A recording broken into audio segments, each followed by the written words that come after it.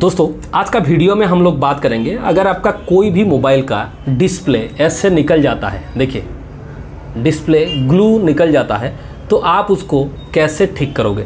दोस्तों, देखिए, ऐसे बहुत लोगों का होता है, जिन लोगों का ओरिजिनल डिस्प्ले है, कुछ दिन के बाद, एक दो साल के बाद अगर पुराना हो जाता है तो ऐसे डिस्प्ले निकल जाता है डायरेक्टली ऐसे डिस्प्ले खुल के निकल जाता है। देखिए डिस्प्ले कैसे मोबाइल ऑन है मोबाइल में आपको दिखा रहा हूँ। देखिए मोबाइल अभी चालू है, देखिए मोबाइल चालू है, लेकिन मोबाइल आपको दिख नहीं रहा है मतलब ये नहीं हो रहा है।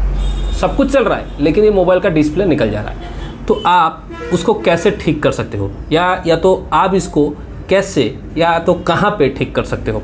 क्योंकि दोस्तों, इसमें एक प्रॉब्लम होता है, बहुत लोग क्या करते हैं ना फेबिक्विक लेके लगा देते हैं।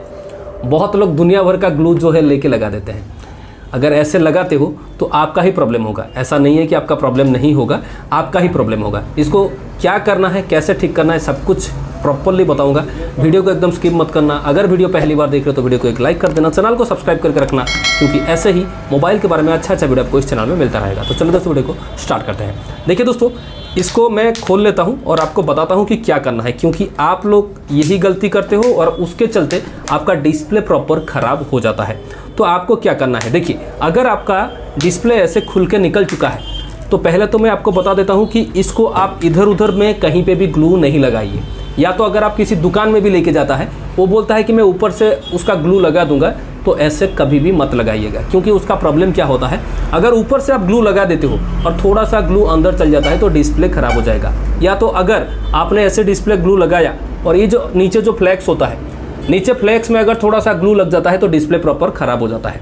तो उसके लिए आपको पूरा सेफली मोबाइल को खोलना है।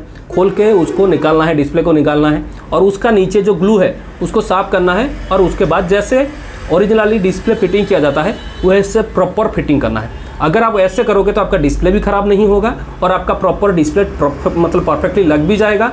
और तीसरा चीज़ ये है कि आपका डिस्प्ले में कोई प्रॉब्लम भी नहीं आएगा।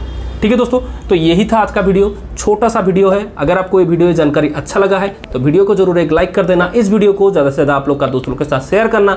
और अगर आपको ये वीडियो ये जानकारी अच्छा लगा है तो चैनल को सब्सक्राइब भी कर लेना। ठीक है दोस्तों, जय हिंद दोस्तों।